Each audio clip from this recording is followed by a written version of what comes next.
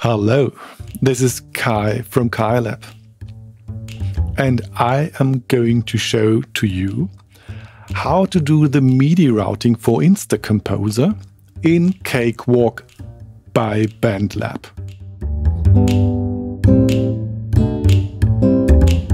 First, we have to load Instacomposer into a MIDI track.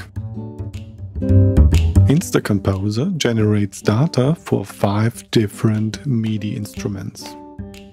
Since Instacomposer has no own patches, we can't hear Instacomposer's compositions without routing our MIDI to our own instruments.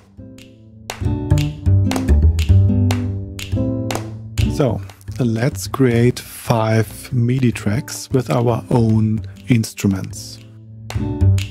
We will need two instruments for melodies and riffs, and one instrument for a bass, and preferably one pad and one instrument for chords.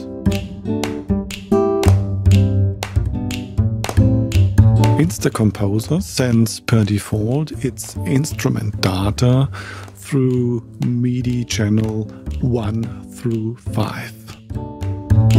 In Cakewalk, we choose Instacomposer as input and select the right channel we want to play this instrument on. Don't forget to activate Echo for all your channels. And now, let's play.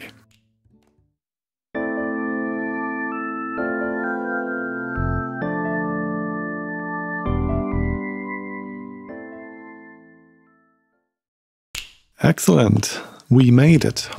Now, it's time for your next masterpiece.